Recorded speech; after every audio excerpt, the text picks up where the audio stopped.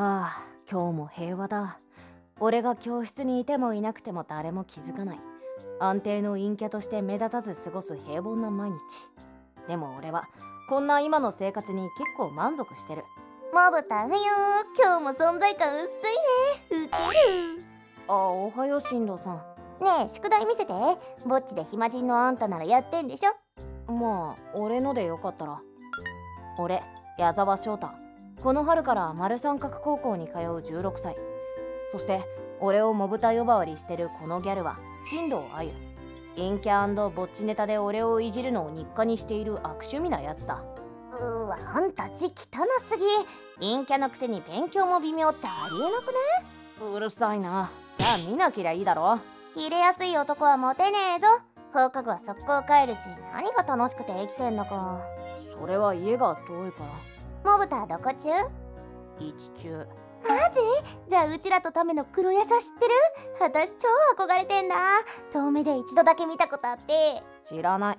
まあ確かにモブタとは真逆だもんね。放課後。あゆ駅前のカラオケ寄ってかね。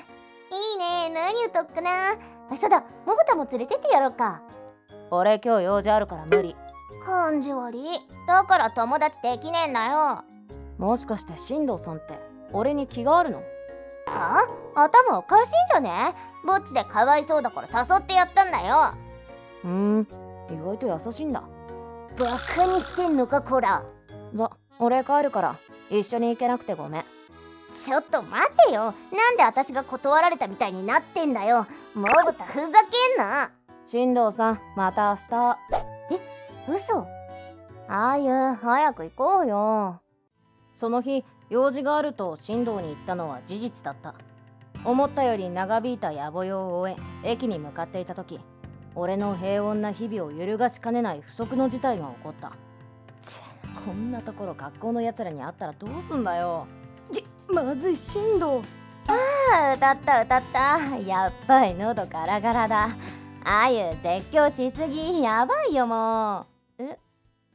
翌日モブタあんた昨日の夕方駅前にいなかった？昨日はすぐ家に帰ったけど。あんた道中のこと今も会ってんの？何突然？一中って超柄悪いしそんな陰キャじゃいじめやカツアゲとかあったんじゃない？そのもし困ってることあるなら話くらい聞いてあげるってこと？ああどうも。でも心配ないよ。べ別に心配とかしてねえしもう授業始まるよ。面倒なやつに見られた。進藤顔は結構可愛いんだけど要注意だな。昼休み。来週から夏休み。補習なくてマジ助かった。ねえ花火大会に着る浴衣見に行かね。いいね。何見てんの？キモいんだけど。浴衣とか着るんだ。は？行く相手もいないやつに関係ねえし。花火は妹に連れてけって言われてる。何それダッサ。でも花火とか言って大丈夫。何が？だって速攻変なのに絡まれてさ 大丈夫だよ。進藤さん心配性だな。だから心配してねえっつってんだろ。花火大会当日。お兄次射的ね。はいはいてかなんでダチと来ねえんだよ。さっき会ったろ。いやお兄とがいいの。ただ俺見て鬼あいつら浴衣の子に絡んでる。最低。げ進藤何やってんだよあいつ。彼女一人もしかして振られたのか。は？友達待ってるだけだし。でも来ないじゃん。俺らと静かなとこ行こうよ。決めんだよ消えろ。話せよ話せって怖がんなくて大丈夫だよ。俺ら優しいし。しつけんだよ。警察呼ぶぞ。騒いでも無駄だって。みんな見て見ぬふりだし一緒に楽しもうぜ。助けるのは簡単だが俺の正体バレるしな。平穏な高校生活。手放すには惜しいし。ま誰か他のやつが助けんだろ。悪いな進藤。離せよこの変態下手に出てりゃ調子に乗りやがって。ちくしょうあんもうどうにでもなれ。ここで待ってろ。すぐ戻るから。えお兄そなんで誰も助けねえんだよ。これで俺の快適なモブ生活計画も全て水の泡じゃねえか。おい嫌がってんだろ。手離せよ。うん？てめえなんだやんのかこらどっからでもかかってこいや。秒殺してやんよ。ふざけんな。おいやべえよ。こいつ矢沢だ。えあの一中最強の黒矢じゃなんだ。もう終わりか。進藤大丈夫？えモブットお兄超かっこよかった。さすが黒ヤシ